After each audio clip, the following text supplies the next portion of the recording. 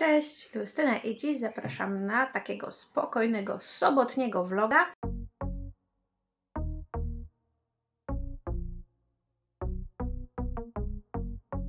E, Wiecie, mieliśmy jechać na działkę, natomiast pogoda się mocno zepsuła, pada deszcz, więc myślę, że jednak spędzimy ten dzień w domu.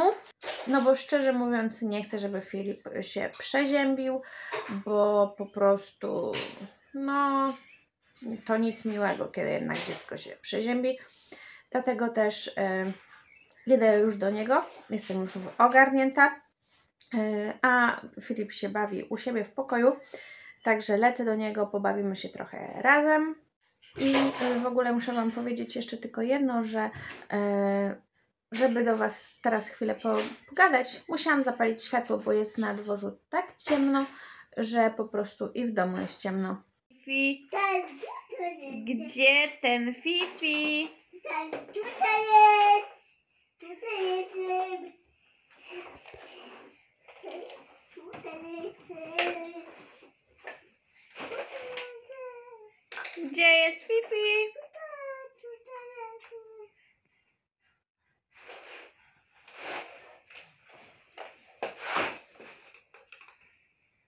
Jako, że chwilowo przestało padać, wyszłam z Filipem na dwór, yy, bo muszę skoczyć do apteki, do piekarni i jeszcze do Rosmana, bo muszę mu kupić dzisiaj pieluchy.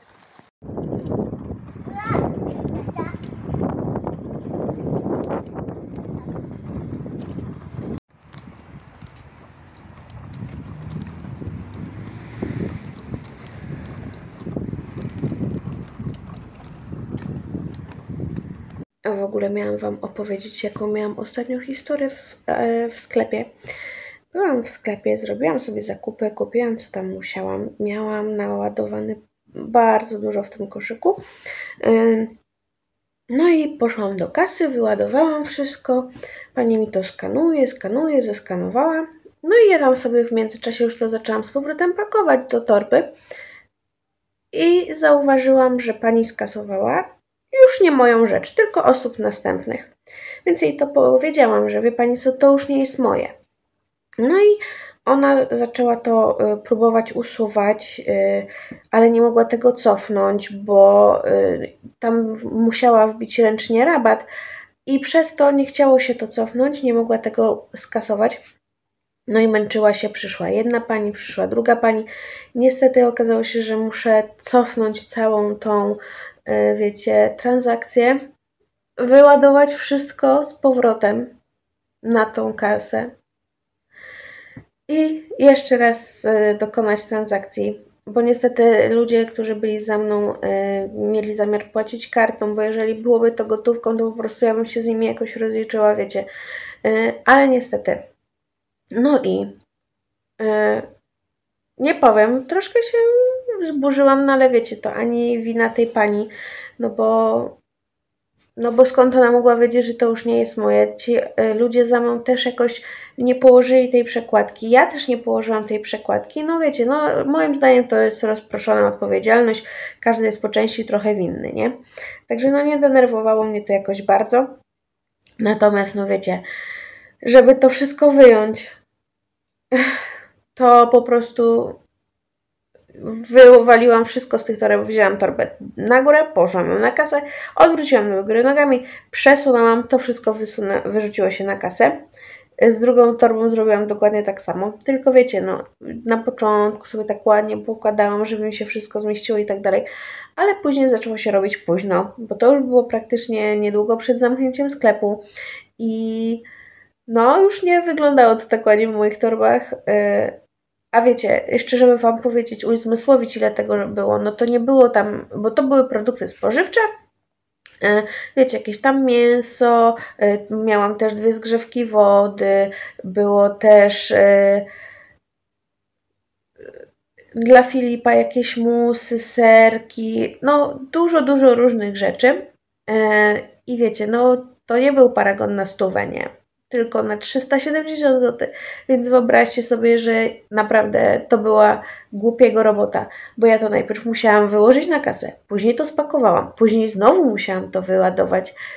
e, na tą kasę, co jak powiedziałam już właśnie wyrzuciłam po prostu z tych toreb, wrzucić to jeszcze raz, zanieść do samochodu, włożyć to do samochodu, wyjąć to z samochodu, zanieść do domu i rozpakować to w domu. Także trochę roboty z tym było. Ale wiecie, pani, która tam kasowała, zrobiła jej się głupio, powiedziała, że jak, jak ja chcę, to ona może mi to pakować od razu do tych torebek. Ludzie, którzy stali za mną, mówi, wie pani co, to ja może pani chociaż pomogę wypakować te rzeczy. Także no, teoretycznie, wiecie, no wszystko miło, fajnie i przyjemnie, no ale nie... No, taką miałam sytuację, taką właśnie. Pierwszy raz mi się zdarzyło coś takiego. Cały myk polegał na tym, że właśnie te dwie rzeczy, które pani skasowała, a które były nie moje, były z tym rabatem, bo gdyby nie to, to wiecie, no, normalnie można je zlikwidować z paragonu i tyle. A to posypało wszystko. No cóż, ale tak to czasem bywa.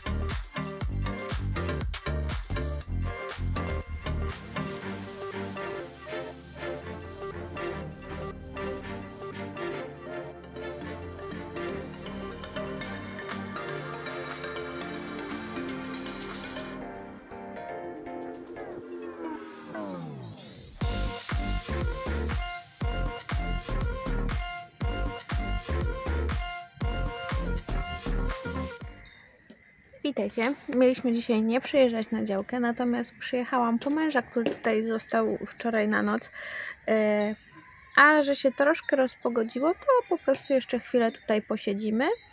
Muszę Wam powiedzieć jeszcze, że dzisiaj Filip naprawdę, naprawdę grał mi na nerwach. Najpierw mieliśmy, że tak powiem, trudność spowodowaną tym, że wyrzucił wszystkie zabawki i nie chciał ich sprzątnąć więc ostatecznie większość zabawek została zarekwirowana. Natomiast później jeszcze na domiar złego wyrzucił wszystkie swoje ciuszki z komody, więc miałam co układać. Także dzisiaj mam nadzieję, że tutaj na tej działce się po prostu trochę wyszaleje, wybiega i że ta jego energia dzisiaj zostanie jakoś spożytkowana, bo inaczej ja nie wiem, czy dam radę to dzisiaj wytrzymać.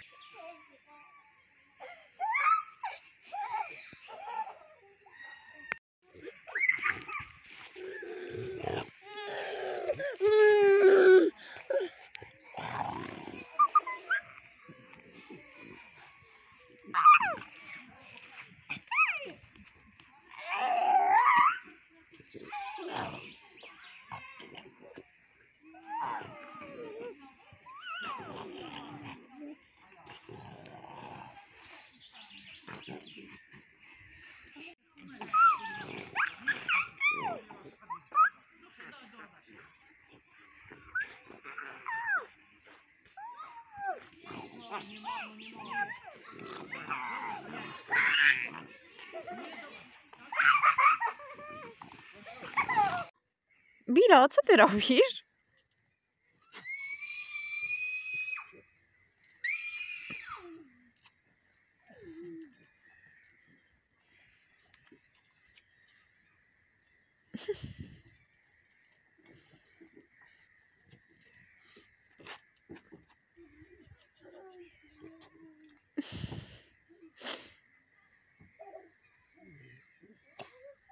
Postanowiłeś, że usiądziesz na krzesełku? Filip cię tak zmęczył, że chcesz od niego uciec? I uciekłeś na krzesełko?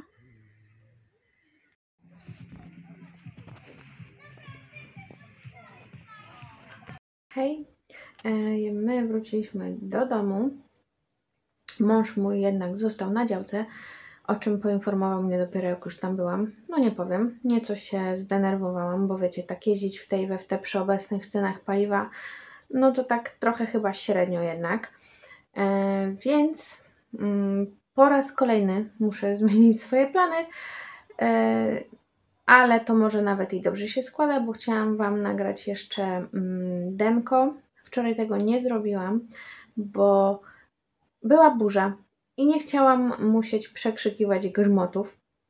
E, natomiast dzisiaj, skoro męża nie będzie w domu, Filip właśnie zasnął i go odłożyłam, to teraz będę miała czas, żeby to zrobić.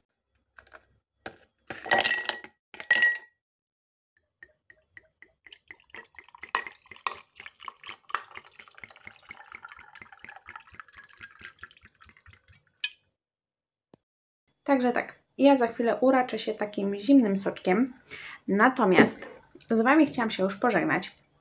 E, mam nadzieję, że taki filmik Wam się podobał. Jeśli tak było, to zostawcie tam mnie łapkę w górę i zasubskrybujcie mój kanał, jeśli jeszcze tego nie robicie. Do następnego. Pa!